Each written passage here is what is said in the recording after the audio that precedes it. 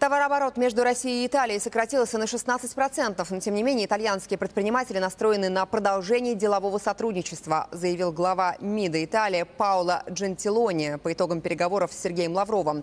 А, по словам дипломата, Европа и Россия должны сотрудничать и дальше, несмотря на имеющиеся разногласия, и в частности по украинскому вопросу.